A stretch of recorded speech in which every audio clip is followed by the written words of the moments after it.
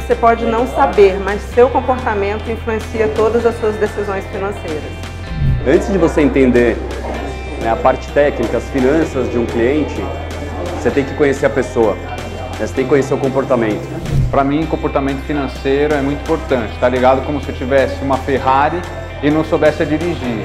Então, uma coisa está ligada totalmente com a outra. Parte comportamental, eu diria que é 90% de toda a situação.